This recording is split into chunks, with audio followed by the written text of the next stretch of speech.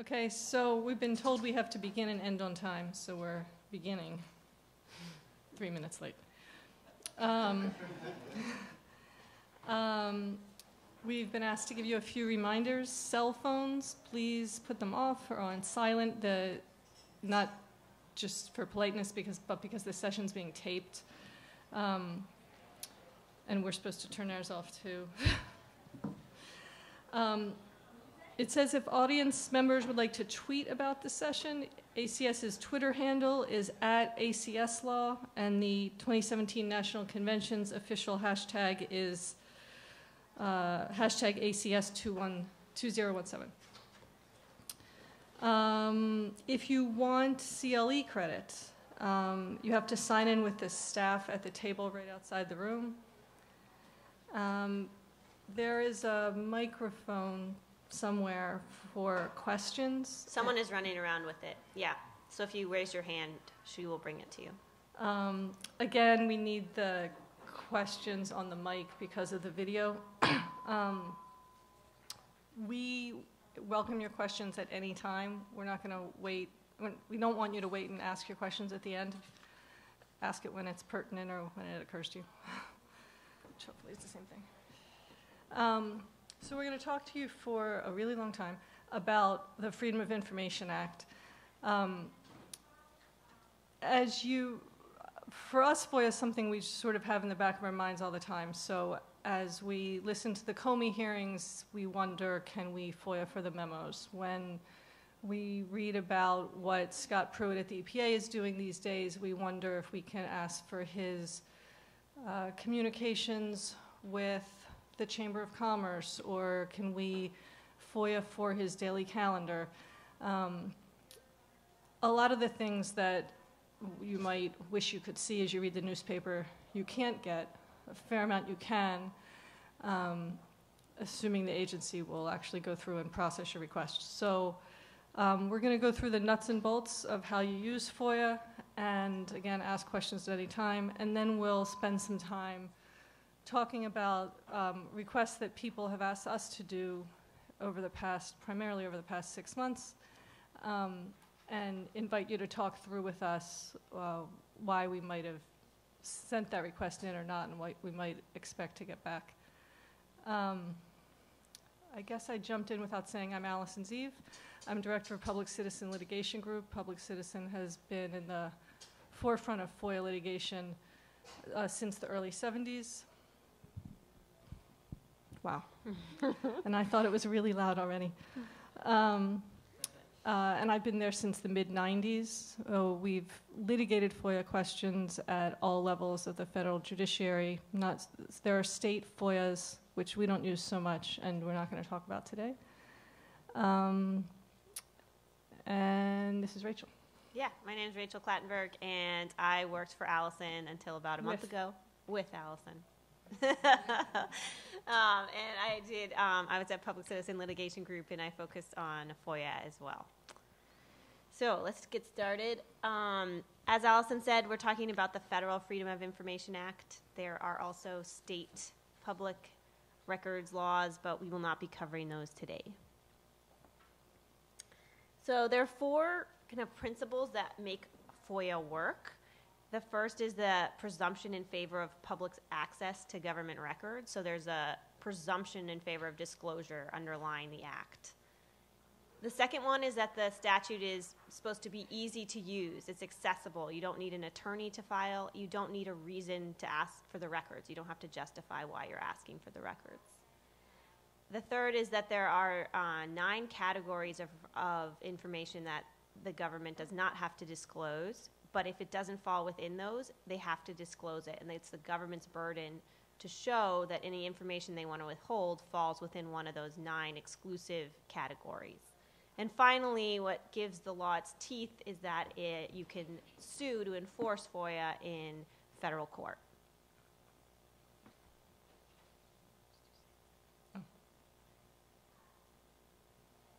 So FOIA is, this is just this is as easy as it is. It's just a letter, and you're describing the records that you want, and they need to be agency records. And you also need to address fees, and we're not going to go that much into fees, but just be aware that um, there can be fees for the requests. Uh, So, uh, as to the record, sometimes it's an email. For, for a while, all the agencies were allowing requests by email, and some have a portal, uh, like a form to fill in on their website where you can just plug in your request. Um, so it's a very, the requesting part is a very informal process. Um, the description also doesn't need any fancy legal or special terms. You need to describe it clearly enough that the agency knows what it is you're asking for. Um, that's, that's to your benefit and theirs. Um, and do we cover this later? The agency records means not um, presidential records.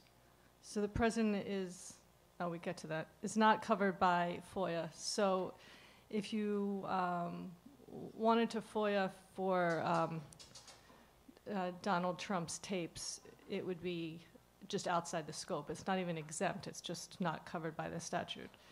Um, the ju- judicial records are not covered by FOIA and congressional records. There's actually no um, open access to any congressional records. Um, the judicial records, you know, you get what's in the court's file. Do you want to do the other? So the yeah, and also just on the agency records, the it's also distinguished from personal records, um, and there's been some cases on this. So, for instance, the appointment calendars of senior agency officials, if they're being used by other people in the agency, even if they have personal appointments on them, are agency records. But ones that are not relied on or used by anyone else in the agency have been found to be personal records not subject to FOIA. So that's another area where agency records come in. Um, but if uh, someone at an agency is using their federal email for personal communication, all their personal communications are agency records. They might wind up being exempt for some reason or just never come within the scope of a FOIA request because where they want to go to dinner with their friends on Friday night is probably not something that you would request. Um, but uh, they are actually agency records, um, which also which means they're potentially subject to FOIA as well as the Federal Records Act, which is something that we could have talked to Hillary Clinton about a few years ago, but uh, is moot now. Right, and on the flip side, if they're using a personal email account to conduct agency business, those are also agency records. Um, What did you say? No, that's okay. Well, well, any per- so any person can request. That includes corporations. That includes states. It does not. Other agencies can't request. Foreign citizens are also permitted to file for a request, but not foreign governments. So this is a kind of a, just an overview of the FOIA process, just briefly, because so you can see you're submitting a proper request. You get an acknowledgement from the agency. This is how it's supposed to work. Uh, you're supposed to get a response uh, in less than 20 or within 20 working days. And if not, you've constructively exhausted. You could sue at that point. Then hopefully they send you their determination. You can appeal. And again, they have 20 working days to um, respond. And then after they issue their final decision, you can sue then again. So you can't sue without appealing an administrative appeal, which again is a letter. Um, there's no special format for it. And in your appeal, you don't have to set forth all the legal arguments. It's, it is an exhaustion requirement, but you don't, if you fail to make a particular legal argument in your appeal, it, it doesn't mean you've waived it for when you later sue. Um, likewise, if the government's response doesn't make a particular argument, they haven't waived it. So they sometimes waive exemption, uh, raise exemptions in a lawsuit that they did not raise at the administrative level. This little chart makes it look a little complicated, but it's it's not. You're sending in a letter, you're waiting for a response. If you don't like it, you send in another letter, you wait for the response. Um, the 20 day thing is, um, is a statutory requirement, but it's really aspirational. It's, uh, it's rare to get a response within 20 days. The substantive response, you get an acknowledgement, but you're not really going to get your response within 20 days. They can, by law, always take a 10 day extension. They always do. And then for many, many requests. They take many more months after that. We got a request this week from a response this week from something we had sent in in December, and I thought that seemed fairly prompt for them. It, it depends agency by agency, and whether your request is really straightforward or not. The more uh, the more material that they might want to redact from it because it's exempt, the longer it will take. Um, the appeals usually go faster because they usually deny them, so the work has already been done at the, the stage of the first determination. Um, but occasionally, if an, an appeal is taking a while and then it turns out it's because what we get in response to the appeal is the information that we requested originally. So to go into a little bit about drafting the actual request language, um, as we said before, they need to be needs to reasonably describe the records, and agencies do not have to respond to questions. So, do you have any records on you know? Or what? That's not right. But can you send me? I can't think of a good example of a question how you would ask, but you can't. They don't Well, respond why to questions. did Scott Pruitt decide to do X? Yeah, It's not interrogatories, it's a document request. Or if you ask like how many times did such and such happen, if that would require them to compile a bunch of things for you and figure that out, they don't have to answer that question. Um, they also don't have to create records. Sometimes they do create a chart and send it to you, but they don't have to. Um, one um, type of request that relates to this that we've been having some trouble with recently is uh, databases. Um, we have a client who, for many years, had asked one of the agencies for certain fields from a database that has a ton of fields, and they were uh, producing those fields. but recently, they've said that producing uh, fields from a database as opposed to the whole thing is creating a record and so now they've stopped doing it. Um, I think we might have had another case where this happened once, and we already won against another agency a few years ago. Um, but unfortunately, uh, we found we've found too many times that uh, the little issues with FOIA, not like the big things, not the issues that go to the Supreme Court, but lots of smaller issues, um, they keep coming around again. So we win, and then 10 years later, they do it again. Um, and that's one of the things that's happening with this database thing. So I expect we'll win again, but we had to file a lawsuit yesterday. And then the final thing here is that maybe Allison might have a different view on, but determining how specific you want to be. I think it's better to be as narrow as possible because you can always go back and it's more likely that you'll get a response, I think, quicker if it's, you're not too broad. But then again, you also risk missing out on some information. I don't disagree. Okay. so the next couple things are ways you can um, get ideas for your request language and also ideas for what to ask for because one of the hard parts about drafting a request is figuring out what records an agency actually has that you can ask for. A lot of times people ask for emails, but emails are often exempt under some exemptions we'll talk about later. And there might be other records that have the information you want, so it'd be nice to know what records agencies have. So one one resource I like is um, muckrock.com, and I'm scared to click on this link in case we never get back here. You think it'll work? Should we try? That's right. Okay. We can All right, never mind. We're not connected to the internet.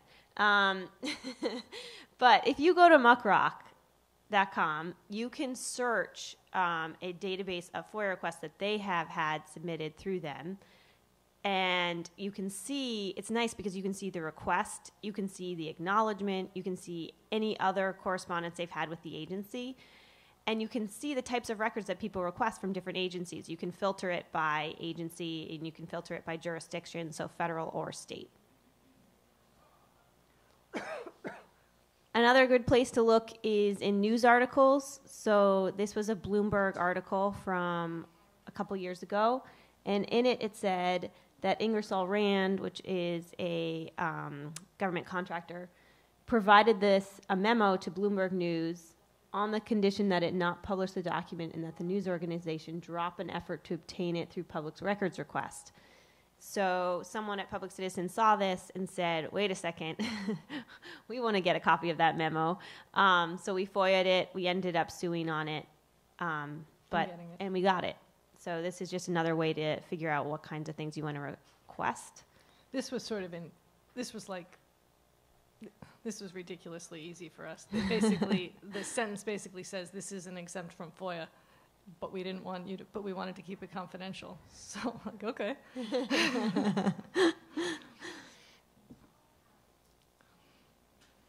Um, when you're drafting the request, if you want to figure out a way to narrow what you have, you can think about narrowing it by a date range um, to have them search just with for documents within specific dates.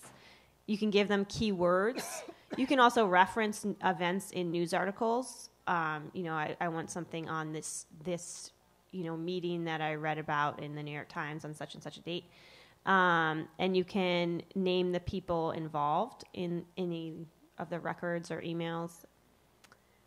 They can deny requests as overly broad if they are unduly burdensome to search for, but this is quite, it has to be quite burdensome um, based on the case law. So, for example, one that was the court upheld as overly broad was a page by page search through 84,000 cubic feet of documents. So, that sounds like a lot.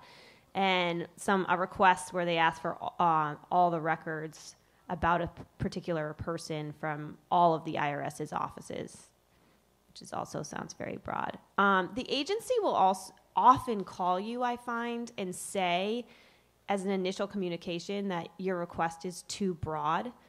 But you don't have to accept that. That doesn't mean it's too broad and uh, by the court standard. Um, they often, I found that a lot recently was they would call and say you have to name specific people and uh, I don't think that's always true. You don't have to always name specific people, either at the corporation, for instance, who you want records with the agency from, and or at the agency itself.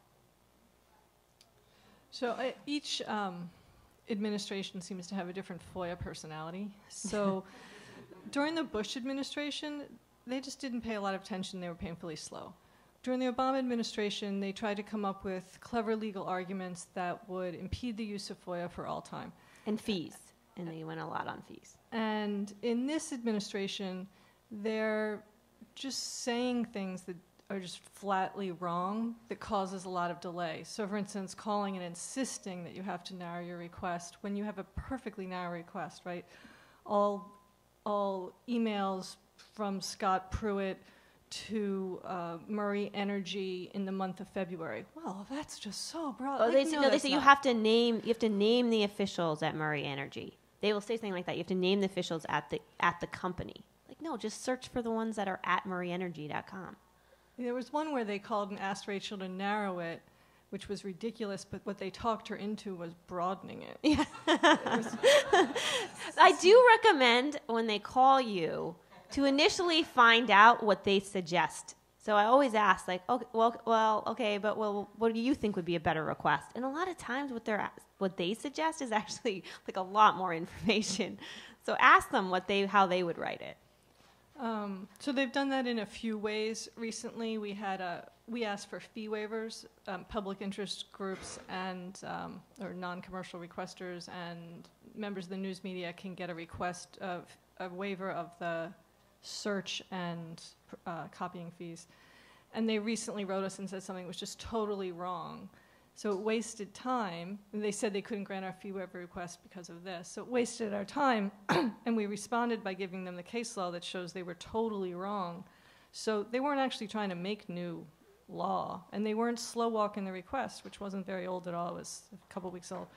Um, but they're just saying crazy stuff. I don't know if they're all new or if they've been told that one way to slow everything down is to just say things that are flatly wrong so that we have to engage in more correspondence. Yep. Just a, a quick question. Are the, the calls you're getting, is that because you are a public citizen and you have a history of suing them over FOIA denials, or is that something that is likely to happen no matter who you are or what organization you're with? Uh, I think it's likely to happen. Um, it's not like the particular FOIA staff person would necessarily know us for each agency. Um, I think they, one reason they call is probably because if they call a requester with less experience using FOIA, they probably, that call probably does help them to, help the FOIA staff person to cut down their work. Um, But it's not just us. And when we, when someone out in the community calls us and asks us a question about FOIA, this is happening, what do I do? We always tell them to call. Like, you've been waiting three months, you haven't anything, just call and ask them. Um, so they're used to talking to, to requesters other than us. Um, so then you, once you have your request, you have to figure out how to send it in and also which agencies to send it to. Remember, you can send it to as many as you want. Um, so if you can't figure out which agency might have the records, which I think is sometimes hard, for instance, when you're trying to find, um, trying to remember one of the ones we were looking for, but records about um, the costs of some of Trump's trips and travel, it's kind of hard to figure out where you would send all those um, because you don't know who else is it is it GSA is it Secret Service? Um, this FOIA.gov link had they have a pretty good tool right now. You can click on the department so for instance Department of Defense and then from within that they have all the agencies sub agencies and they give you the request um, information some agencies use this online portal called FOIA Online, and it would be great if every agency did, but they don't. So some agencies, you go through that, and you have to make an account, of course. Um, other agencies have their own portal. My favorite way to do it is to PDF and email it, but more and more they seem to be taking away the email option, and you have to do various different ways. You can always do mail. Um, or some of them still do fax. Uh, but and some of the some of the online portals, I start filling them out, and I realize they're they're requiring you to agree that you'll pay a certain amount of minimum fees, and I want a fee waiver, so and they don't give you that option, so then I have to go back and just mail it in. So you'll it's a little bit annoying. but also look at each agency's regulations on FOIA when you are submitting your request, just to make sure you've ticked all the boxes. Could I just ask a question about the online portal? So when you submit through an online portal, what kind of record do you get that you've submitted, or you know, do you need screen caps, or like what what what do you do to document the timing? So they will usually you get an immediate response, uh, an immediate receipt. That is not the official acknowledgement, but that does give you, you know, you did submit this. Then a few days later, a week later, two weeks later, you should get an email from the agency. Some of them are automated, and some are some of them are the actual acknowledgement, but it'll be an email. But you should know promptly that your, your request went through, if that's what you mean. Yes, if you don't get Like some sort of like a page, you know, you hit click and then you get a receipt on the actual internet or something in your email, then it, I don't think it went through. Uh, this is just what an acknowledgement letter looks like, just so you have some sense. This is the type of uh, letter you'll get after you send in a request. So generally, it, um, it says it's acknowledging receipt, and it will repeat your request. Um, You might have sent in a longer letter because if you were asking for a fee waiver, sometimes our letters, we repeat parts of the law saying things like, you must, if, if the document is not entirely disclosable, then we request all segregable portions, stuff like that, that is totally unnecessary. They don't repeat that. Um, But they will always include your request. It's nice to have as the acknowledgement, um, so you know exactly which of your requests they're acknowledging. Um, But there's nothing special about it. They don't ever trick us there. They don't summarize. They're just quoting. Hi, yeah, I wanted to go back to something you just said about agencies having regulations for the requests. What's the rationale for uh, agencies having agency-specific regulations to make a request? And in your experience, do certain agencies try to make the request process more burdensome than others? Um, For the most part, the regulations, like the heart of the regulations, are similar and seem unnecessary because they tell you how to do things that you would be doing anyway. Um, One purpose of the regulations is to talk about uh, how they're going to process different, uh, how their processing works.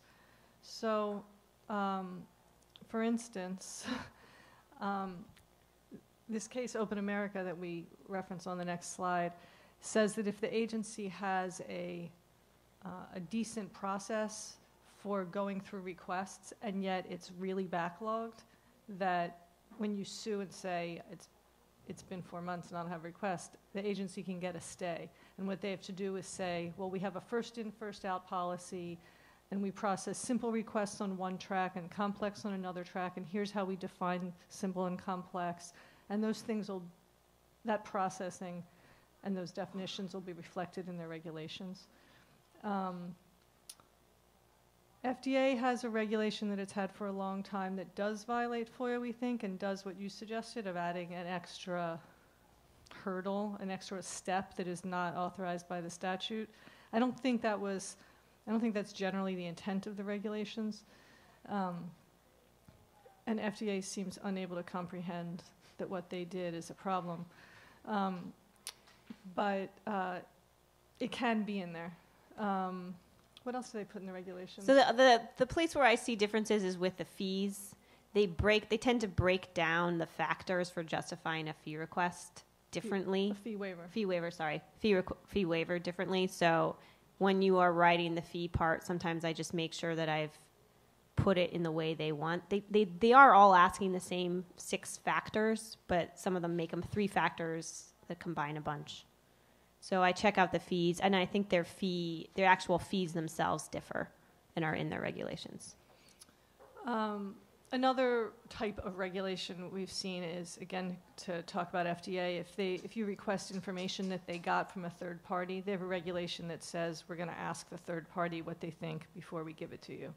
Um, Oh, yeah. So because of the, because there's an exemption that might apply, which we'll talk about in a minute. So um, that actually sort of makes sense because the third party can sue them.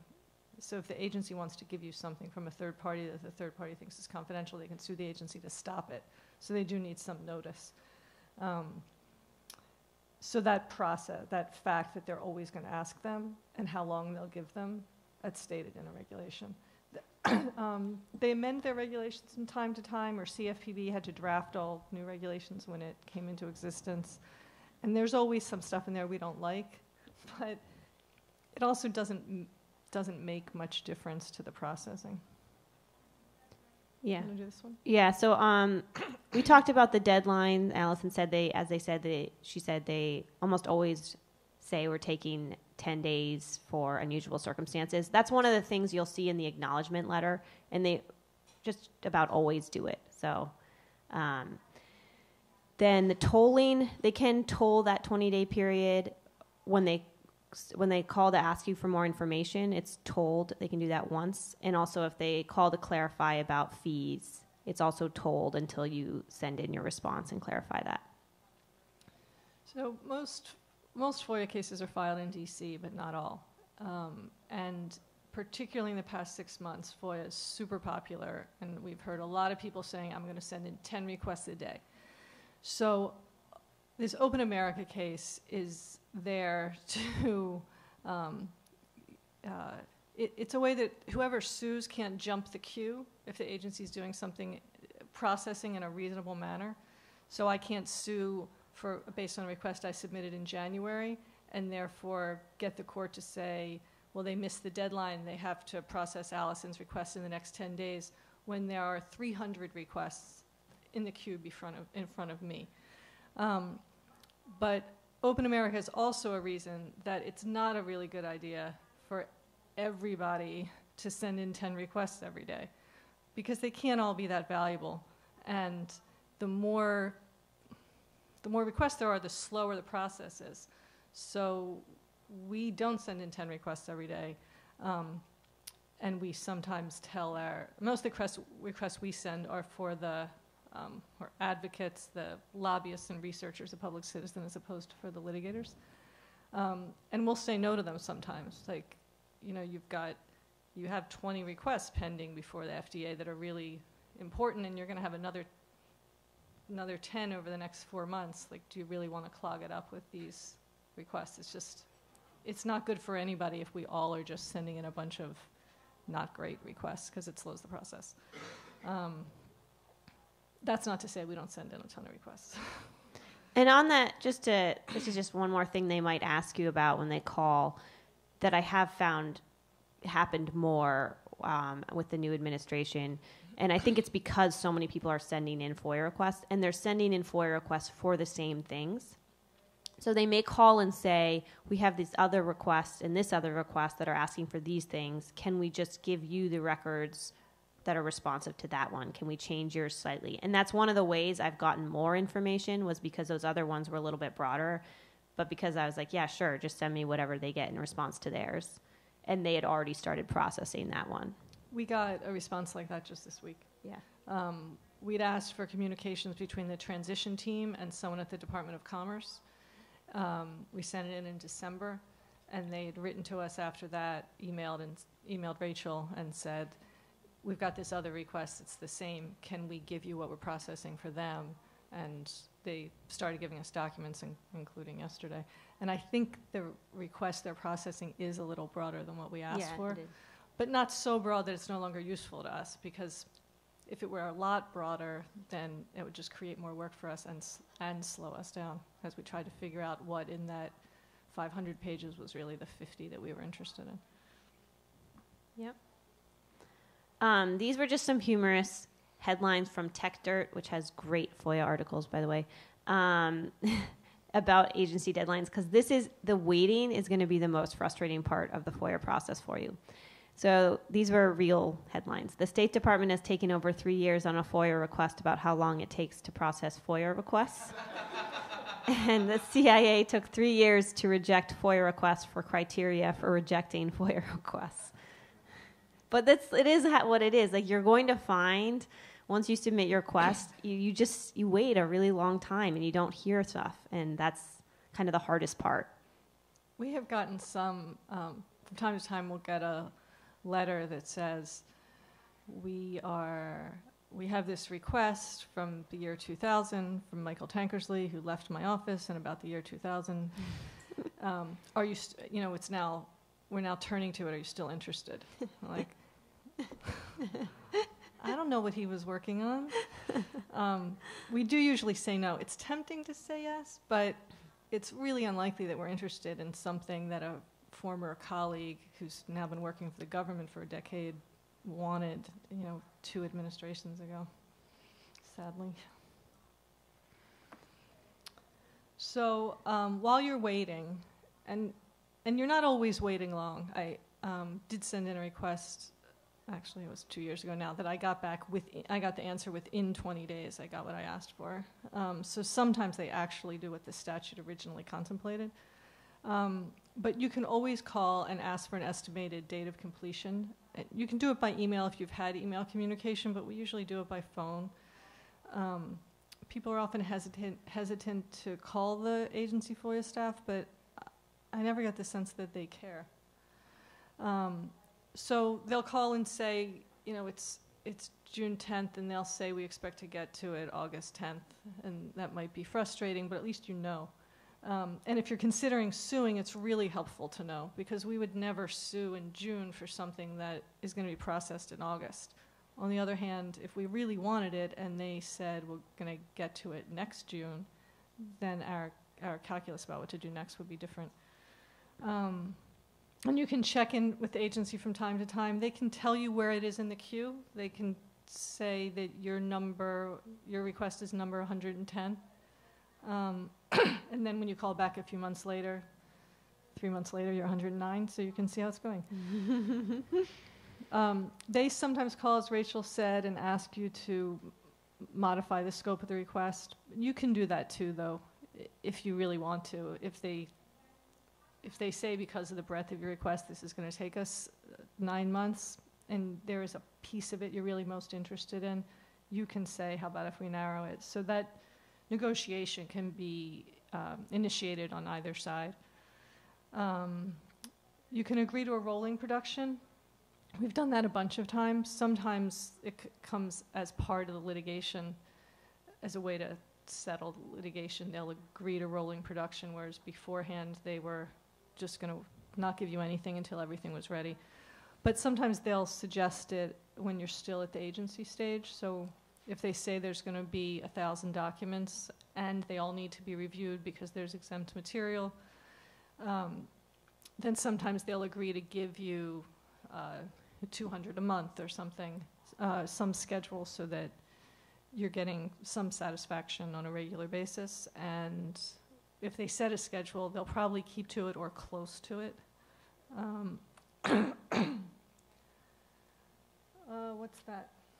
You can also um, ask, so I don't know how often this has happened. I think one attorney in our office has done this. You can ask them to search first for, if you have a bunch of things you're requesting, you can pick a couple of them and say, can you search just for these and show me the records you get? I send me the responsive records for those, and based on those, maybe I'll modify the rest of the request. And you don't have to search for all 50 different people yet. These are the two people I care most about. And then once you have given me those records, I'll see if I'm still interested in the others. Oh, I just wanted to say on the, uh, I think it helps to, my understanding of how this FOIA processing works at an agency, because I think that helps when you're dealing with a delay, is the FOIA officer that you're talking to isn't actually doesn't usually have the records in front of them that they're processing. What's usually taking a long time is they have to get the records from you know all these different places in the agency that so some ag- agency employee who has other work is also supposed to be searching their email, getting these records to the FOIA office. So the FOIA officer often doesn't ha- just have the records sitting there waiting to be redacted. Um, but and I think they're often quite helpful. So I would I definitely encourage you to call them and kind of see. You can find out from them. I think you get a better idea of do they have these records or are they waiting for somebody else.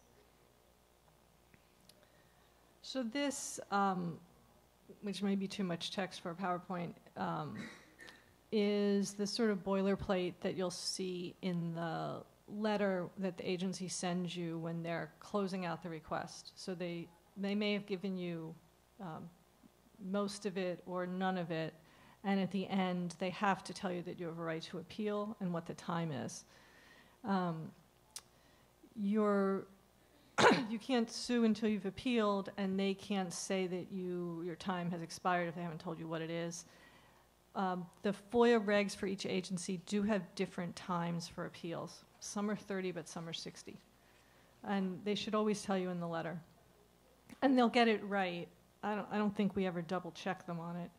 Um, but they're not all the same. And so um, you do want to read the letter carefully and make sure you don't blow the deadline. I think this kind of goes, and I'd uh, just add to that the new the the amended FOIA statute was amended last year for requests filed at one of the am- one of the amendments was to make the appeal time frame the same for all agencies to be 90 days. So for requests that are filed after June 30th, 2016, the deadline is 90 days. Double check, make sure your letter says that, but they are eventually supposed to all have the same deadline. Okay, so um, what can you ask for and what can you get? Um, here's something we asked for. Yeah. So we're going to just breeze through these. Research protocols for a NIH trial.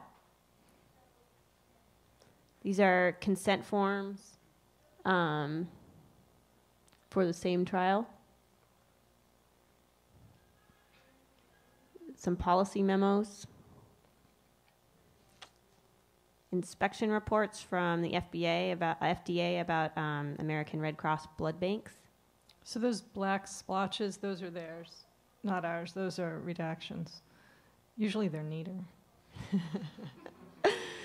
You can get contracts. This was a contract from the TSA for uh, the TSA. Apparently, used to have iPads that would randomly tell you which line security line to go in. So it was a it just was an arrow that went left or right, and it was for some outrageous amount of money, which was what this contract was for. And on this one, there's a small red box in the middle. That's also a, um, a redaction, and it says in you probably guys maybe can't read it, um, but it it identifies which exemption they're um, invoking there when they redacted it, and that's more common. They're they're supposed to tell you which exemptions, so they don't usually just black things out without telling you.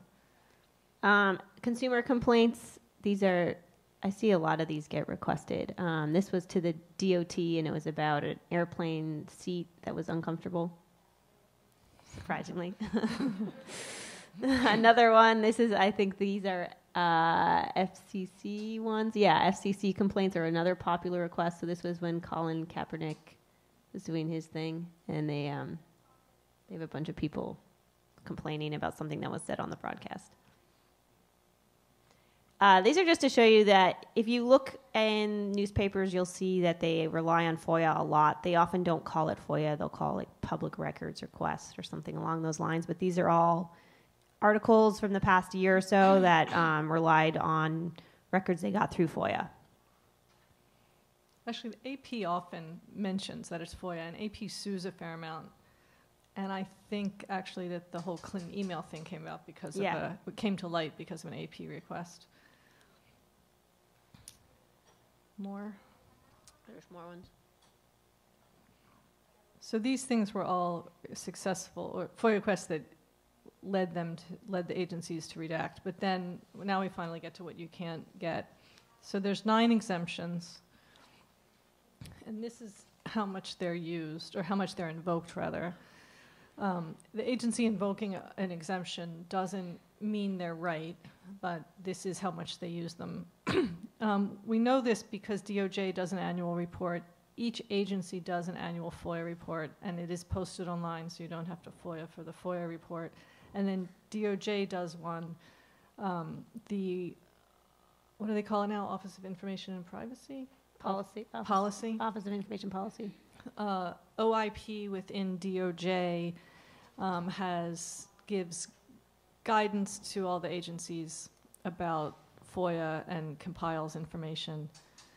Um, And here you can see that over half of them are, we'll go through these, but exemption six and exemption seven C are the privacy exemptions. So those are the most heavily used. Okay, so I said there's nine, and um, the interesting, the ones that we're more interested in come earlier. We, we rarely talk about the later ones. So number one is information that's classified um, or um, uh, would release would uh, sort of impede foreign policy. You can never get it. You can't argue your way out of it, and even if it seems ridiculous that this information is classified, they won't, an agency won't give it to you, and the court will never second guess it. Um, we asked for information once for, uh, uh, we sued about information that was from the 1950s about some guy who was born in Britain and a Canadian national, and the information we're asked, this, this writer was asking for had to do with connections he had with Chiang Kai-shek that, the, uh, from China who doesn't there isn't even a connection with the current Chinese government. There was just no reason this stuff had anything but historical interest, but it was classified. And so that was the end of it. We never got that. Um, exemption two was really supposed to be for like um, personnel, your personnel, an uh, individual's personnel file. Um, so their evaluations, their resume, like whatever was actually in the HR file. Um, but it also said and practices for a while. The government was had what they called a low two and a high two. Low two was what it sounds like, sort of human resources stuff, and high two was other information an agency didn't want to give you that didn't fall under another exemption. um, and they used it for years until the Supreme Court said no a few years ago. And sometimes it made sense. It was stuff you could see that maybe w- we shouldn't get, but it wasn't exempt. Um, so now they're actually using uh, one of the parts of Exemption 7 to try to accomplish the same thing. We'll, we'll get to those. Exemption 3 is information that is ex- specifically exempt by f- from FOIA by another statute, and it has to be explicit. So a statute that says information pursuant to the statute is not disclosable through FOIA. So it, it can't be implicit, it has to be an explicit exemption. And there's a lot of them, and there's a lot that are um, proposed in bills each year. Yeah, so like one of them is the National Security Act has one for intelligence sources and methods. It's a very strong one. The IRS, it doesn't, you know, you can't get someone's um, tax returns. That's an exemption three. Rachel currently has a case where a, a researcher who's writing about Eleanor Roosevelt asked for the FBI file on Eleanor Roosevelt, and they redacted a handful of pages from the from the 1950s, saying it would reveal intelligence sources and methods. So we were sort of um, dismayed to hear that the FBI was still using the same intelligence sources and methods as in the 1950s. Um, but we actually have an argument on that one. We've been waiting about a year to see what the judge thinks. Um, exemption four, that's trade secrets and confidential commercial information that was submitted by someone outside the government. Um, I alluded to this one when I was saying something about the FDA's um, uh, regulations. Um, a lot of agencies regularly get information from companies, uh, in particular, the FDA would or SEC would. Um, actually, a lot of them do. So, if you want to see some of that information, um, you should be able to get it unless it's deemed confidential commercial information. Uh, the trade secrets doesn't isn't the definition of trade secrets isn't entirely the same as the Trade Secrets Act, but um, it's similar. And then confidential commercial information is broader. If an agency says, if a company can say, we never give this to anyone, um, it's considered confidential, even if there'd really be no harm. The DC Circuit has set up two tests um, for exemption four. If it was voluntarily submitted by a company, they didn't have to, but they offered it to the agency, and the company says to the agency, we consider this confidential, the agency just won't give it to you, and according to the DC Circuit, it falls under exemption four. Um, if it was not a voluntary submission, but, but a mandated submission, um, for example, the FDA companies have to submit um, reports about um, adverse um, events caused by, like side effects caused by their products or injuries caused by a medical device. Those are required submissions, so the test is a little more uh, friendly to the FOIA requester. Um, and they'd actually have to prove that.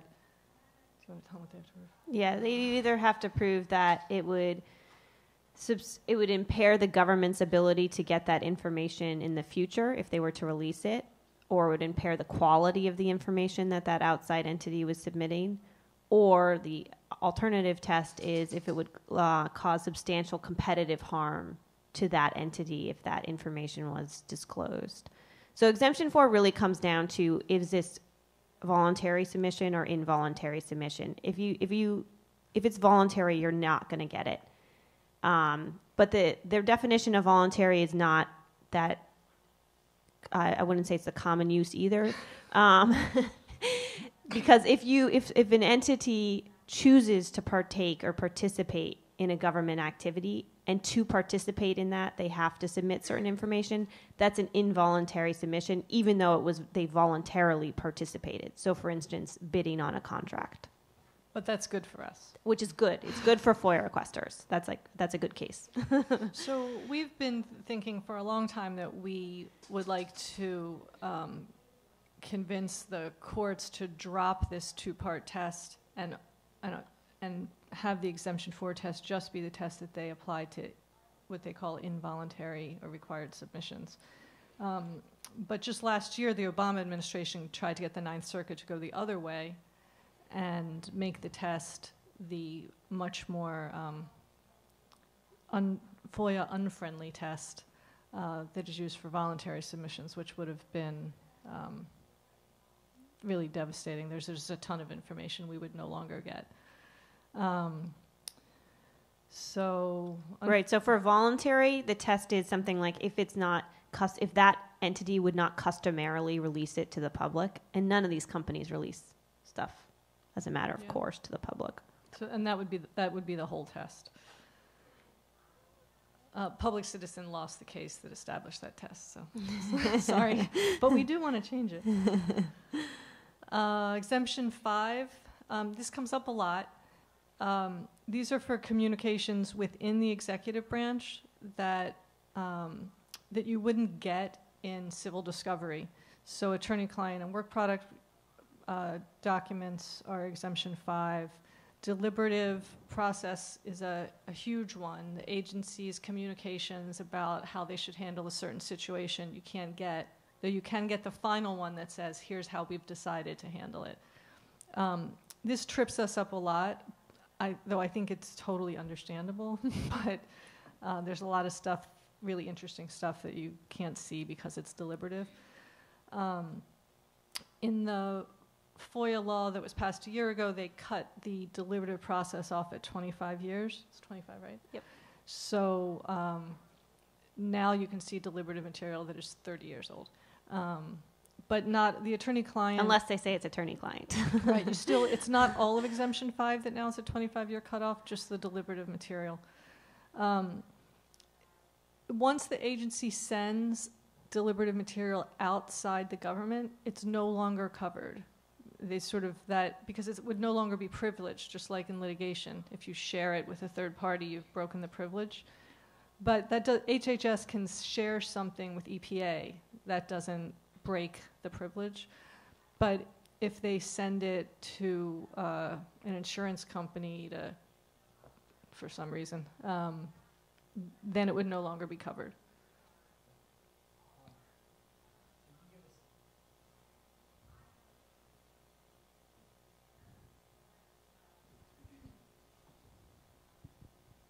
Can you give us any guidance on the deliberative and, and how it gets misused and how we could counter the misuse of it?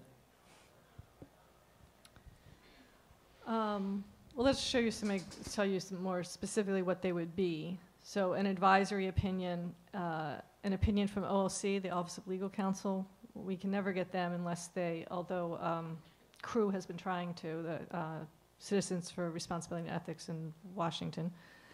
Um, emails debating things, drafts. You never see drafts. Um, um, the last one's sort of the same. yeah, some are the same. Um, we sometimes challenge exemption five because we, because of who they've shared it with.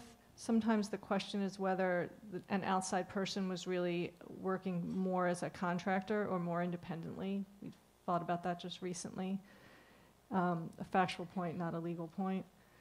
Um, You can. some, sometimes when the, um, it was a recommendation, but now it's been adopted as the agency's position, they're supposed to give it to you then. Then- Or they're not supposed to claim exemption five then, and sometimes they do anyway. And we've argued with them, with agencies about that from time to time, and successfully from time to time. What were you going to say?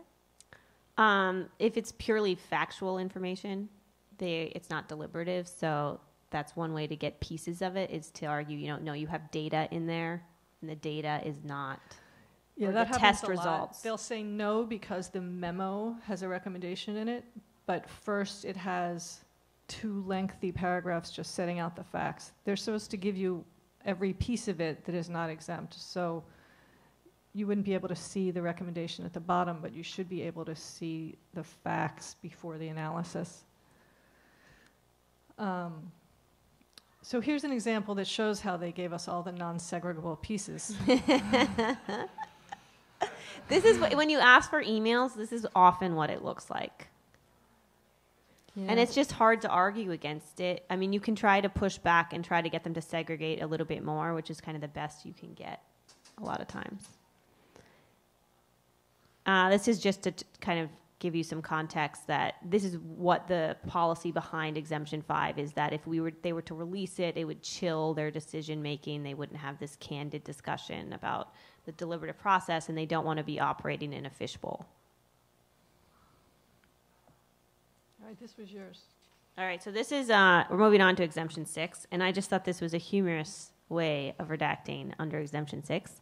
Someone requested these photos from, I think it was an FBI holiday party, and they got the photos and all the heads were redacted. But that sums up exemption six, which is personal information that would identify you. Um, so exemption six is a balancing test, and this is uh, unique among the exemptions. Um, none, in, none of the other exemptions does it matter why you would want the information or why, why it would be of interest. Um, there was a brief period where um, a judge in DC had held that the public interest balanced against confidentiality for exemption four. Um, so we won that case, and I think about eight years later, the DC Circuit said no. And it probably is correct that on the face of the statute, there wouldn't be a balancing for exemption four, but under exemption six, there is. Um, so the, the courts say what's the private interest and what's the public interest, and then they balance them. Um, it's usually not that hard to say what they both are. And um, generally everybody agrees on what they are on both sides, but then we say it balances this way and they say it balances that way. Um, The only tricky part is the public interest has to be a public interest in uh, how disclosing this information would show what the agencies are up to. So it's not a public interest. it's not public interest as in like how would it benefit the public? It's how would it show what the agencies are up to. uh, which also means it's not your personal interest. Uh, so sometimes people ask for information to help them in, in, in their personal litigation, sometimes like in a 1983 case. Um, that's not that helpful in the exemption six because why they want the information might relate to how they personally were treated, but in order to argue for it, they have to explain why the information would, knowing the information would benefit the public generally. Uh, so here's some of the things that are covered by exemption six.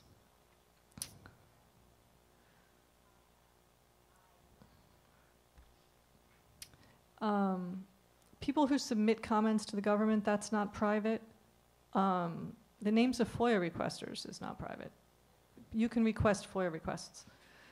Um, though we do have a, working on something for someone who asked the IRS for um, FOIA requests from people who requested information that was not about themselves personally, and the IRS has denied it and said that uh, what, that the request is exempt under the exemption three statute that says that the IRS doesn't have to give out any information about any return information. So we're not exactly sure what they mean, but it is true that everyone who submits a FOIA request also has submitted a tax return.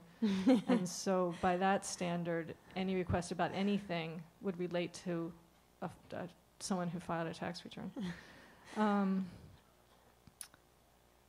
addresses of farmers who receive subsidies. The federal employees that that kind of I feel like goes back. I'm not. It's not always. Sometimes they release them and sometimes they don't. They used to always release them, and they stopped during the Obama administration. Although not always. Sometimes on the emails. yeah, sometimes on the names are email they show it, and sometimes they aren't. aren't. Yeah.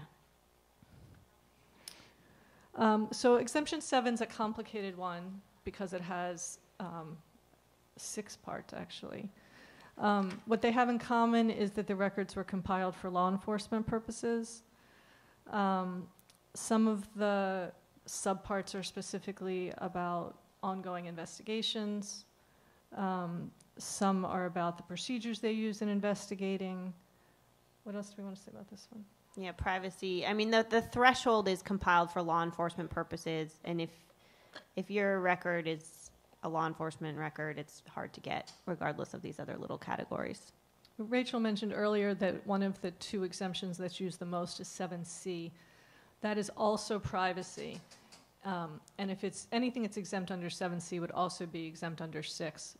Um, but 7C is more stringent, so if it falls under 7C, um, it's a tougher standard to get it.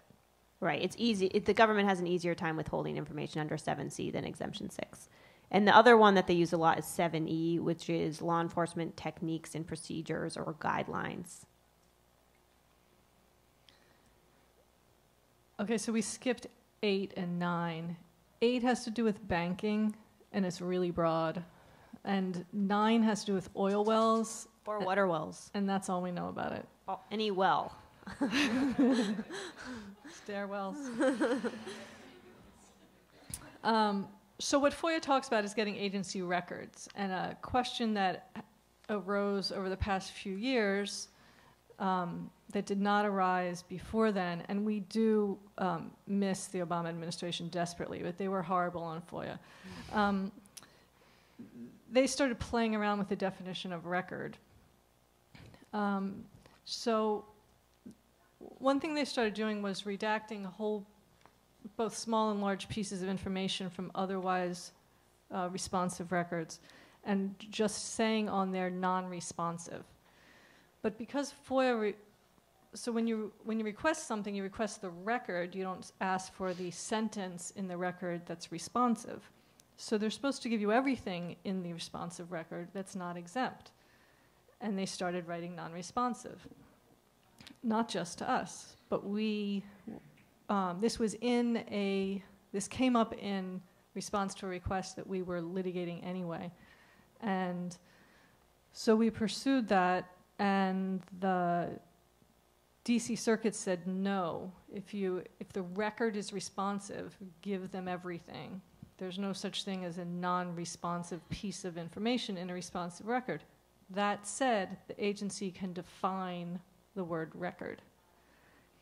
So, Office of Information uh, Policy then issued guidance to the federal government about what record was. And basically, they've told them you can make record as narrow as you want. You can make record, you can say that every word in this document is a record. Um, what they had done in our case was they had used non responsive, so there was, there was a chain of emails, and when you the way it worked was that when someone pressed reply, it included the old email below, so you wound up with a long chain. And so they were saying, well, some of this is non responsive. Like in this chain, somebody might have started talking about their dinner reservation.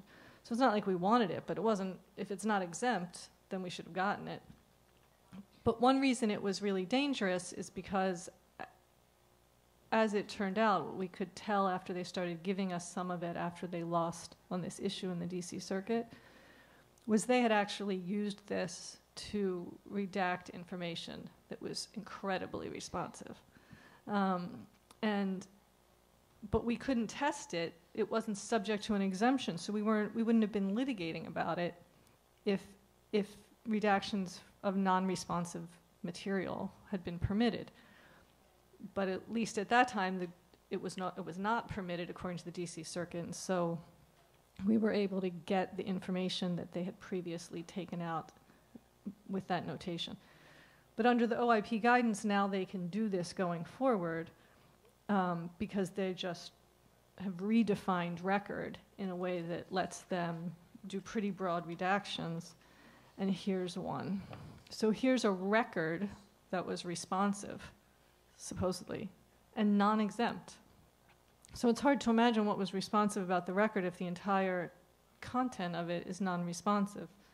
So this was before the case that Allison just mentioned, the AILA case. And then after the AILA case, this FOIA requester asked that it be reprocessed. And so then, I don't know if you can read this, but what it says at the top is record one, non responsive. Then the second block says record two, non responsive. So they've just said that this one document consists of a whole series of records, and most of the records within this document are non responsive. So the what the guidance does is it says you can define a record. Don't define a record until you get the request. And once you get the request and the subject matter of that request, then you define the record, which is a huge problem because it means what they're saying is if you are requesting complaints about immigration judges and you ask for a specific judge, then on that you have let's say a page that lists 20 immigration judges. This is an example they give in the guidance lists 20, the names of 20 immigration judges. Only one of them is the one that this request seeks. Each of the names can be defined as a separate record. Each of those other records is not responsive to your request, so we will just give you the one name on that page that you asked for. Under before this guidance came out, you would have gotten that whole page because that's a record, right? It's a unit. Question, is there any later, legal challenge to their redefinition of record? Um, the, the group that had this request, I believe, is litigating it. Yeah, they are litigating it. Um, I think they faced some other hurdles because the after this, the agency actually, I think they didn't want to have be litigating the guidance, so they then reprocessed this again and applied an actual exemption to all the information, and so they're saying it's moot. And I don't know what's happened with that. It's that summary judgment. It will be, though, and there's no way they can justify this. I don't think any of the three judges on the panel that said agency can define record had this in mind. I, what had happened at oral argument in that case was Judge Srinivasan was really concerned about the fact that about people who just have the reply, the, the original message with the reply, and that some people just have chains of emails that could go on for days. And I remember at oral argument, our colleague's response was, "Well, they set up their email program that way. They, you can, you don't have to set up your email program that way. But if they did, it's one record." But he was that was what he was really concerned about. So I wasn't that sympathetic to him, but his point there. But you can see that at least a, a discrete email, maybe that, and I think that's what they had in mind when they wrote that the agency could define a record. Not that they could say each sentence was a different record. Yeah, I think it really was just an, an issue of the email thread that keeps going and has many topics. Yeah, I think we got an insight into how he emails. so, question?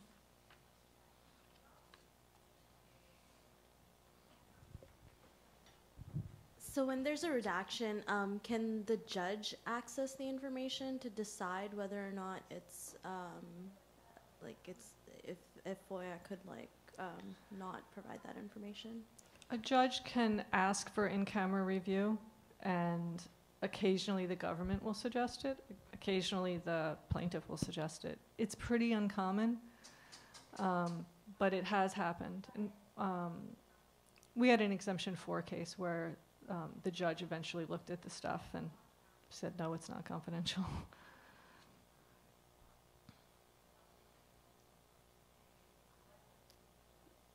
Um, Oh, this was a example of one of the um, silly things that they've been doing recently. So when we asked for a fee waiver request, um, on the basis that we're non-commercial, we're using it to inform the public, and that we have a record of using the information we get to inform the public. Um, this was a, the request we made was not particularly broad at all. Actually, it was narrow. Um, but we got an email back saying they couldn't decide whether to grant our fee waiver request because some of the information that might be responsive might be innocuous, and so it wouldn't be that valuable in informing the public. Um, so, in response to this, we wound up writing, I think, three-page single-space letter or something. It was just a total waste of time. The law is clear that the fee waiver request is determined on the face of the request. So the agency is supposed to determine the fee waiver right from the start, and that makes sense because if they deny your fee waiver, you might say, then I have to withdraw the request because I can't afford it. Um, so they're supposed to decide right at the beginning. And that's not um, an open question in the law. So this was just a way of them jerking us around and making us spend a couple hours writing a letter citing cases that made clear that they decided the basis of the request. Um, we're done? Yeah. Okay, well. Something else we wanted to mention, um, just to keep in mind, is you don't have to keep pursuing a FOIA request. I think we sort of mentioned this, but we had requested um, records of communications between some of the appointees and the agencies prior to them being appointed. So, for example, um, Andy Puzder, Andrew Puzder, is that right? Labor, was that? Yeah, something like that. Um, but he, of course, didn't end up being appointed, and they said, like, do you want to keep following up with this request? And we dropped it, even though you can. So it's just, you don't have to keep pursuing it just for the heck of it. Uh, so we thought that to make this more concrete, we could talk about some of the um, specific pieces of information that people have asked us recently uh, if we could FOIA for, um, and talk through with you whether those were good ideas or what we might expect, and also to hear from you about things that you might wish you could get, and we could talk as a group about whether that is something you could ask for and what you might get in return. Um, do we have the same list? No. Why don't you go first? Um, if you wanted to ask for, let's say, advice or opinions that the Office of Government Ethics gave on conflicts of interest for those coming into the new administration, what do you guys think would be some of the hurdles, exemptions? Do you think you could get it?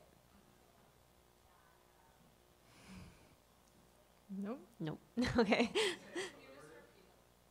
Sorry, if you wanted to find out it, any kind of advice or opinions that the Office of Government Ethics gave on conflicts of interest, say with Jared Kushner's holdings or anything like that, anyone in the in, incoming administration, Would they try to claim that it's deliberative? I think that's probably a, a big one. Yeah, attorney client. For financial information, probably, yeah, definitely.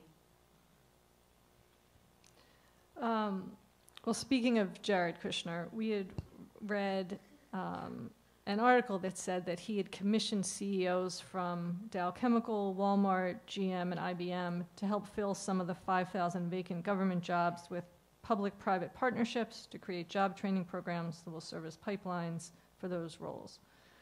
Um, does that suggest any FOIA requests and any successful ones or? Any ideas? Wait. Well, he's he's technically part of. He's not part of an agency. He's an appointee, or he's part of the, the president's cabinet, right? So, I don't know. You said earlier that the, the president doesn't fall under FOIA. So, I don't know which agency you would request that from. So we've had that um, that problem that you're identif- that you're correctly identifying uh, several times, where the there are a bunch of um, uh, CEOs and other extremely rich people um, that are advising the White House um, or agencies, and we're not quite sure how to find out more about it. Um, their communications with Trump himself, we can't get. Um, but if we look at some of them, like um, if it's Dow and GM, then we might be able to FOIA for communications between um, the CEO of Dow and EPA or the CEO of GM and the Department of Transportation. Um, if we don't limit it in time, uh, that would be a monster request for them, I assume. Um, but we're obviously just asking for February to the data processing or something like that. So we're not going to actually hear about Jared Kushner's response because he is within the executive office of the president. Um, but uh, we have sent some requests into the particular agencies about their communications with some of the people that uh, seem to be advising. Um, because if they're advising the White House about, say, environmental policy, they're probably talking to the EPA as well, for example. Yeah, and one one of the challenges, the other challenges that comes up with that is figuring out which offices within the department to also to FOIA because a lot of times they break it down. You have to specify office of the secretary. I don't know. Does the CEO communicate with the office of the secretary, the office of, you know, policy, or are they talking to some assistant secretary? It's, I think that part is hard too. I end up, for some of those, I ended up sending in a lot of FOIA requests to, within the same agency, but to different offices. There was, um, there was a, a lot of articles in the news uh, six or eight weeks ago about how Carl Icahn was suggesting in his role as advisor to the president some changes with respect to the biofuel program, and that was also going to personally benefit him. So his communications with the president weren't FOIAble, but supposedly he'd been lobbying the agency last year, last summer, on the same matter. So, in order, so the people in our office who were interested in researching and informing the public about issues related to government ethics and and um, conflicts, they were interested in seeing what exactly had Carl Icahn been, what position was he taking before the agency on this same matter over the past eight months, and how that related to what he was now telling the Trump to do, so that we could explore the nature of the relationship and of the conflict. Um, one that I that I saw recently that had been submitted that some people might be interested in was um, they sent a request to OMB. I'm not sure why OMB, but they sent it to OMB for um, the tweets and deleted and not deleted for a time frame from at real Donald Trump and at POTUS. Um, and OMB's response was that these are not agency records because they don't own the Twitter account. So they got nothing. Who, who I guess the I don't know who who technically is registered. But I, I guess if it's since it's not registered to the government or it's only registered to the president. Uh, Sean Spicer said this week that that his tweets were government records, um, but they're not government records held by the government. Right. I,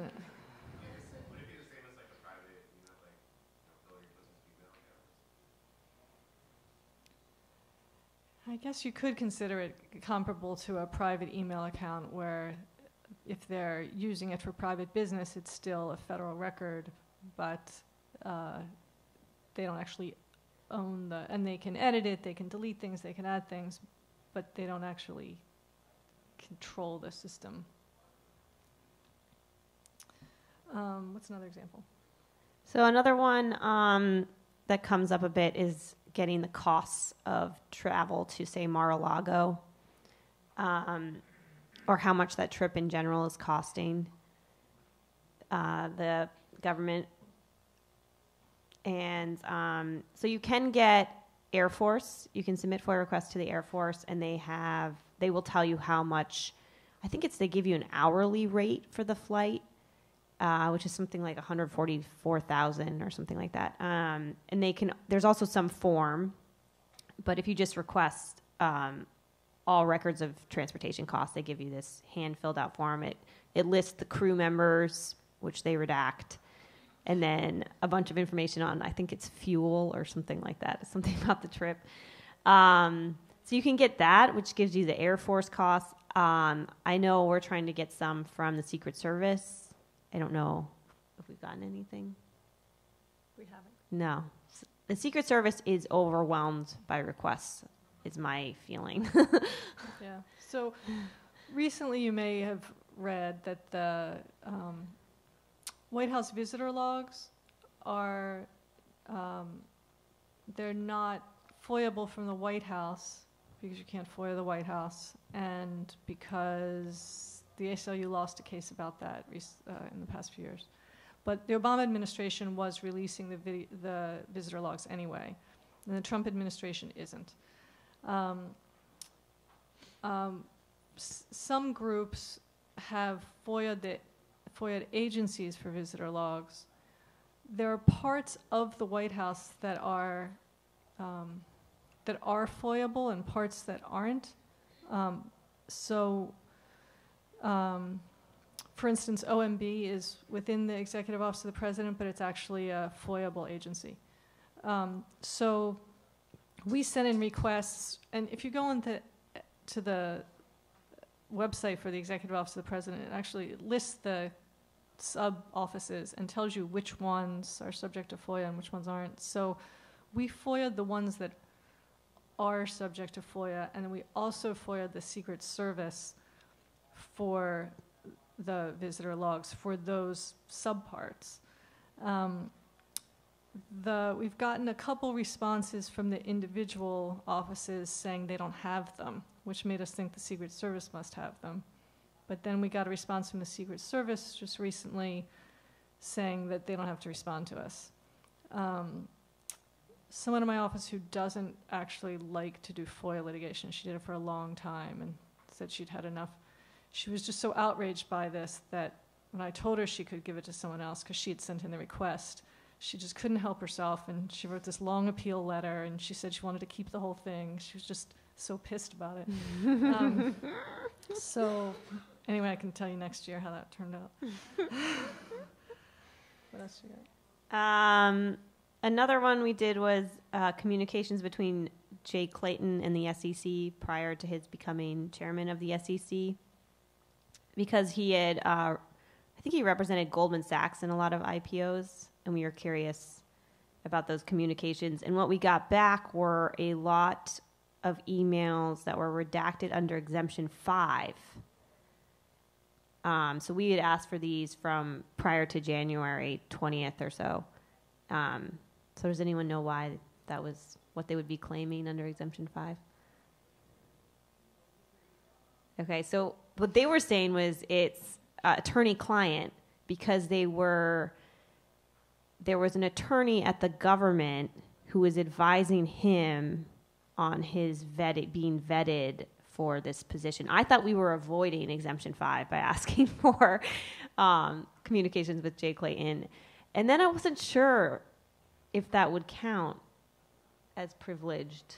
Uh, I think we decided we weren't that interested in it, but um, it did raise an interesting question because I thought I was being tricky in getting around deliberative process, and they were saying it was privileged attorney-client information because they were vetting him. They also did a lot of exemption six because he didn't disclose financial information about himself. Um, so another series of requests that we've sent in have to do with the president's executive order that says for every one new regulation you have to cut two. So we've sued about the executive order, and we thought it might be useful to see what the agencies, um, what what the agencies are saying within internally about how to implement the order. Um, so we have a whole bunch of defendants, and we FOIA'd each of those agency defendants uh, for uh, all records concerning implementation of the executive order. Um, so far, we've gotten some acknowledgments, some random questions that uh, fall in that category of things done to waste our time, um, but we haven't gotten anything substantive. Um, and that is um, one of the problems with trying to use FOIA in litigation, which um, we actually don't usually do. But I know some trial lawyers sometimes do that, um, and sometimes people try to do it in 1983 litigation. Uh, trial lawyers, I meant like um, product liability cases, for example. Um, because FOIA is not really about a 20 day turnaround and it can take so long, it can if you didn't send in your FOIA request before you even had a cause of action, you might not, uh, you're unlikely to have it fast enough uh, to use in the litigation. In this case, we'll be interested in the information whenever we get it, um, but it would probably be useful if we had it uh, before the summary judgment briefing. what else did we send in recently? What else did Rob ask us to do? Um, I, I actually had a question. Um, could you explain a little bit how FOIA ties in with discovery when you are going into trial? If you just use it as a part of it, or if you could get more um, through discovery than just the FOIA request and how that works? Uh, well, if you were litigating against the government in a case where discovery was permitted, it would be faster to seek discovery. Um, if you're litigating a case where the government is not a party, it can be difficult to get third-party discovery from the government. There's limits on it, and they often fight it, um, even document requests. And so FOIA would then be a reasonable way to try to get the material. The problem is that discovery has deadlines that are enforceable in court, and FOIA doesn't. There is a provision in FOIA uh, that allows a requester to ask for expedition, but to, I'm not sure I've ever seen that granted. Um, to get expedition, you have to show an urgent need to inform the public, not an urgent need to use it in litigation. So it's very hard to get them to speed up. Um, if the government doesn't have a personal interest in whatever it is you're seeking, then it may be that they have no reason to try to hold you up and you might get it more timely. Um, there's also, we should mention, everything we've talked about is really about uh, Section A3 of FOIA, but there is an A2, which is about affirmative disclosures, things the agency is supposed to make publicly available proactively without a request. Um, and that's why there is so much information available online. It's not just because they like to keep us informed, but because um, FOIA requires them to. Um, the catch in that otherwise really positive provision is that the DC Circuit recently issued a decision that makes that unenforceable essentially. Um, so if the agency's not posting final opinions online, which it's supposed to do, there's not really much you can do about it. Um, and they're also supposed to post online frequently requested records, which are records that are requested three or more times. Um, that also sounds great, but it's unenforceable. Under the DC Circuit's opinion, the way you'd have to enforce it would be to make a FOIA request, which defeats the whole purpose of saying that they're going to request, they're going to post them online. Um, uh, there's another case that recently challenged that in uh, district court in Los Angeles, and the district court decided to follow the DC Circuit. Uh, we're considering another case on it, which we would probably file in New York. Um, but it may be that re- that requires a legislative fix. Um, but I've strayed from your question, which is um, if you can get it through discovery, you'll get it faster, but often you can't. Or in a, in a case like a, a case under the Administrative Procedure Act, you don't get any discovery. So um, you obviously couldn't use it in that situation. Yeah, on that CREW, the decision she was just talking about, the, the provision is written um, A2. The agency is supposed to make it publicly available electronically, uh, which we would like to mean they post it online, in which the DC Circuit has said the courts can only order them to produce it to the person who requested it. So, in a lawsuit to enforce A2, they would just send you the record, and I guess you could post it online, which is what makes it virtually unenforceable. Um, so another thing someone read in the paper, uh, in the newspaper, uh, about a month ago, and asked us to what we could get, was uh, a plan that apparently Scott Pruitt was thinking of replacing government employees with um, private, with non-governmental employees, not internally, but just farming out the work of the EPA to the extent it's still going to be doing work. Um, uh, so someone in our office was interested in knowing what that plan was and how far along it was. We haven't got anything back yet. Um, there's also another EPA plan to uh, buy out the current staff, um, uh, offer people early retirement or packages to leave. Um, and um, to the extent that's not deliberative, we're waiting to see if we get something back. We've, there have been a few articles about versions of that plan, so it seems to exist, um, but we haven't seen yet what they're to what they're to give us. And I think in that case, it might happen that they wind up doing these buyouts before they give us the information. um, so uh, we're interested in hearing what you read in uh, newspaper or wherever you do your reading in the past week that is, there has to be something that irritated you that, uh, that the government's doing that we might figure out what we could ask for. Hi. Um, so basically, the the threshold for freedom of information, like in, in all over the world, but especially where I come from, from Latin America, is that all information is accessible. The only uh, exemption that you will have, exception that you have, is national security, and that's the threshold imposed by the Inter-American Court of Human Rights.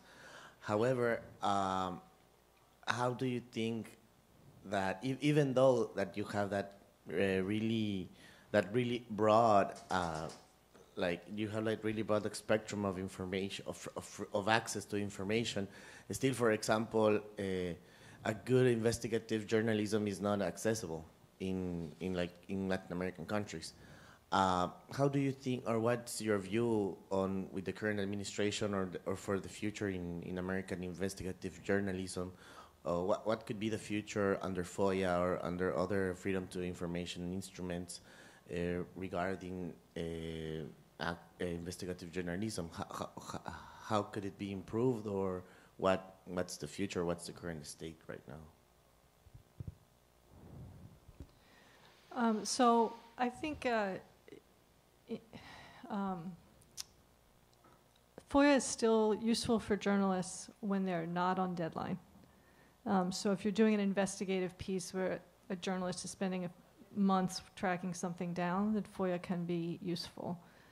Um, but for it to be super useful, um, I think requires uh, legislative change because it's um, it's it's too slow, so it needs more money. Um, the agencies have too much freedom to uh, exempt information, and because they can exempt so much, they do, even though all the exemptions except the national security exemption are waivable. The agency doesn't have to exempt just because it can, but they do, that's their mindset. That also slows things down, right? Because the more categories you have to think about exempting, the longer it takes to review the document. Um, um, and they need a new, they're, they, when you FOIA something and then you talk to the FOIA officer, it sounds like I don't I don't know how their record systems are set up, but I don't know they they don't seem to be able to search electronically for a huge amount of information. Like for instance, um, someone at the Treasury told me that they can't search by email address, and I was like, what? like, I wanted emails from this person, and they said we can't search by that, and I don't know how they're actually searching, but this is a common problem. They agencies will tell you they can't search by certain things; they can only search by topic so it's also the whole way that the information is stored at these agencies is highly inefficient.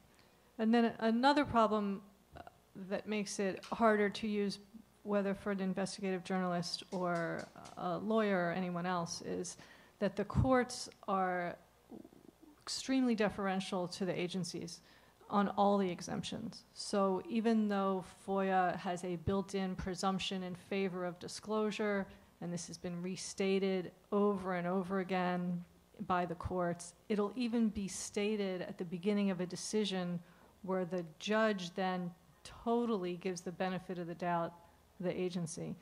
Um, this just emboldens, the, reaffirms the agency's decisions and DOJ's decision in defending them. Um, just try to slow things down and to withhold information because the courts are just not holding them to the statutory standard. Um, another related problem we've seen in litigation is that although the burden is on the agency, you have cross motions for summary judgment. If they don't carry their burden, the court will say, um, you know, the Department of Commerce hasn't carried its burden. I want new motions for summary judgment and they give them a second chance or a third chance, which they would never do, right? If the burden was on the private party, they would just say you lose. Um, but if the courts aren't willing to really hold them to the statutory standard, and the statute has so many exemptions that have, although the, again, the courts say they're interpreted narrowly, in fact, many of them are interpreted broadly, the value of the tool is certainly diminished. It's not um, unuseful, that's why we're talking to you about it and we still use it, but it's not, it's only a part of what it should be. And just to get back to your question, I do think that journalists use state and local public records ones pretty successfully. A lot of those have faster turnaround times, and you can see them using those to use, you know, they can actually do it a piece pretty quickly. How you doing? I was uh, going to ask about surveillance of protesters. I know a while back there was a report that DHS and other agencies had surveilled protesters in Baltimore, and I think it was Color of Change that filed uh, a FOIA request lawsuit. I don't know what sort of uh, uh, complications or concerns you may anticipate that may revolve around that, and do you have any strategies if someone wanted to uh, follow up on that? Does anyone have any thoughts on what exemptions that requester might run into? Yes, the exemption seven exemptions are going to be the, the problem there. If there was a, um, the, surely the person could say you can, could agree that they're not looking for the names of any individuals. They could be looking for the policy, or they could be looking for the materials that reflect the surveillance with the names of individual people redacted. Um, but the agency is likely to say that it would reveal um, our law enforcement methods or this is part of an ongoing investigation. Um, and a court would be unlikely to push them. You'd need a pretty um, sympathetic judge. Um, the, agency could just give it to them, though. I mean, one thing is that we tend to be sort of conservative. If there's someone asks me for something that I think is exempt, I want to say we're not going to do that. It's exempt. But um, sometimes when you ask, you get it anyway. So the ACLU had a big litigation about terrorism-related materials that I would have just said if my boss had asked me to do it, like, no. Like, they weren't entitled to any of that. But they had this big litigation, and the agency kept just giving them stuff during the course of the litigation. It was totally worth it. So sometimes, even if you think what you're asking for is something you might not get, you just never know what they'll give you. So. Yeah. You can also sometimes you can try to think of other stuff. So, for example, talking points from the press office. You can sometimes get that on an issue, and it's not going to be exactly what you want. But if you know it's an issue they might have to be responding to press about, you can get the memo that was passed around for how to talk to the press. And once you get it, it might lead you to think of some other discrete category of documents that are related. Did you have a question? Um, so I know most of the requests come out of the DC circuit. I mean, most of the litigation comes from there, but have you seen any sort of novel opinions or anything from other circuits where they don't necessarily just follow what DC has been doing? Where they don't follow DC? So the Ninth Circuit used to have a different summary judgment standard, but they've now switched. That was kind of the big one. Um, I don't think they have any major things that are different. There's a lot of issues that the DC Circuit has addressed that the others haven't. Um, and we are seeing a little more FOIA litigation uh, in the Second Circuit or in the Ninth Circuit. Um, you know, for a while, for all sorts of government-related litigation, we were all trying to find uh, clients that would have a basis for suing outside of DC. Um, and in many, for many types of litigation, that's switched, but not so much for FOIA because in DC they get so much FOIA litigation that I think the judges think of it as nuisance litigation, even though we think government transparency is super important. So even if the judges are like, otherwise open-minded, I think they just have a, they see FOIA and It's sort of the way I feel when someone says FERC, like I just want to go to sleep. There's a question back there.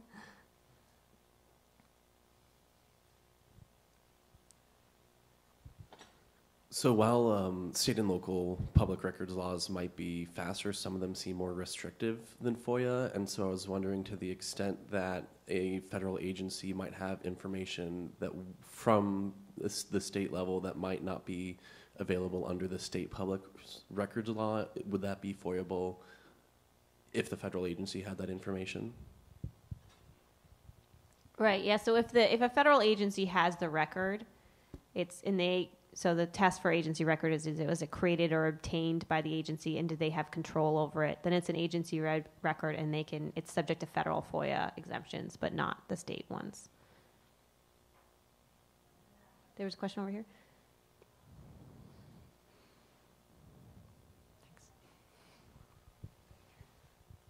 Uh, I was wondering if you could talk a little about the appeal process after you get the rejection and before you go to courts. Uh, like, what what happens in between, and any suggestions you have on how to go through the process. So the regular, in the initial process, you're dealing with the, um, the many people in the staff in the FOIA office. Um, once you get to the appeal process, mm, they deny it, you write a letter, it's going to be um, a more substantive letter than the one, than your request letter. Uh, because in the request letter, you probably didn't say anything about why you were entitled to it, and now you have to explain it. Um, the denial letter, whether it's partial or um, entire, is going to cite exemptions, so now you know what you're up against. So your appeal letter will focus on why they're wrong to say that exemption four applies, or why they're wrong that exemption five applies, or why the public interest outweighs any privacy interest under exemption six. Um, so your, the letter will take longer and, and be more argumentative than your request.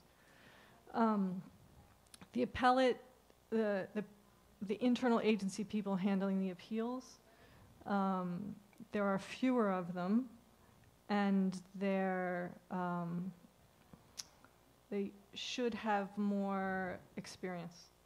And so sometimes they are able to override the people that came below. Um, from our side, though, there's, there's not that much different that's going on. Um, we're sending in a, a letter and then we're sitting around waiting. And it is harder to get information at the appeal stage about when you're going to hear back. Um, I don't even know if they have a first in, first out for appeals. I don't know either. Um, at FDA, for example, they've got something like 99 FOIA staff who do the initial requests, and they have one guy, or it might be a woman now, who does the appeals. So that one person knows a lot about FOIA, but they're pretty backed up um, and not that sympathetic. um, I have had, uh, just actually with FDA, I've had um, the person call me to try to talk me down or to try to come up with a compromise. I think that is because of Public Citizen's relationship with FDA. Um, we have a whole uh, group of people who just focus on the FDA and have been FOIAing them since 1972. Um, so I, I don't, I think, I expect that's why that's happened and it hasn't happened with other agencies. Um, but generally, process-wise, it seems similar. More is required of you, and you should get a slightly, you should get a more substantive letter back. Although I was going to say on that, I think that the part of the appeal that's hard is that the letter, the denial letter, is often very not, it's not substantive enough. So they will tell you, they're supposed to tell you the volume of records that they have withheld and then the exemptions. Um, and then they usually just quote kind of their regulation or the statutory language for the exemption, and that's why they've withheld it. But you have nothing to go off of because you don't know what it's been withheld. So your letter is a lot of speculation or like looking at the context. You know, we expect that this would have this type of information and this would not be exempt. Yeah, someone reached out to us uh, two weeks ago after he'd gotten a denial, and it had, and the denial had just said, exemption five dash eighty-seven pages, exemption six dash twenty-four pages, and there was a third one. And then the next sheet was just something they must attach to all of them that just listed each exemption, and then had, you know, a one to four word summary of what it meant. so for his appeal, he's totally guessing about what they might have in mind. What agency was that? Do you remember? OSHA. um, yeah, it was hard to give him advice. I, I also didn't really understand his question, but. Um, any other questions? How much, oh, Thank you. How much of the issue do you think could be solved by just uh, giving more funding? Obviously, there's an issue with, you know, certain exemptions are too broad, but a lot of it is just because of how overwhelmed these agencies are with requests. How much of the, of the problem do you think could be solved by just more staffing and more funding for agencies to, you know, just hire people who only deal with FOIA requests? I think that could be very useful. It- It wouldn't solve all the problems, but it would be very useful. It should certainly cut down on the lag times. Um, and that is a, that's a big um, problem with using FOIA for anything. Um, whether it's a, a journalist or an advocate or a litigator, the lag time is, just makes it so much less useful than it would otherwise be.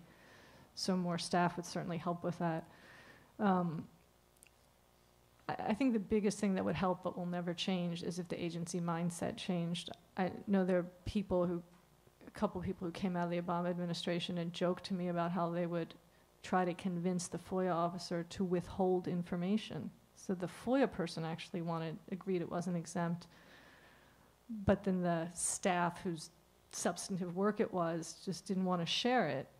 And that I don't know who would win those in the end, but it's a waste of time and it's like contrary to the whole idea of openness. We once had someone at the Department of State say to my colleague, "How would you feel if someone came to your house and looked through your drawers?" it's like she then suggested that because the information my colleague was seeking related to something the Chamber of Commerce had done with the State Department, that Public Citizen just call the Chamber of Commerce and ask for it. like, but So does that mean that the, the staff member at the agency is given notice that their email, every time that one of their emails or communications or memos is subject to a FOIA request, that they get notice of that? Yeah, so I send the request into the FOIA office, and then the FOIA office determines that these eight people may have responsive documents. So they ask those Ah, people to send us what you have. Got it. And then those people apparently try to talk the FOIA people into not giving it to me. And I think one thing that would help also, it seems pretty basic to me, but um, would just be to have it more transparent. If you could look up, these are the FOIA requests that have been submitted, it, like very timely. This person has asked for this information, and this is the stuff they've gotten so far. Just make it more proactively disclosed for any request. Don't wait for three requests. Just disclose it more promptly, and you can then you wouldn't be repeating the same requests. I imagine they get a lot of the same requests or they overlap, and it's just very inefficient that way. Um, someone pointed out to us recently that the Department of Education was not posting online its frequently requested records. He'd sent in a FOIA request to find that out. Um,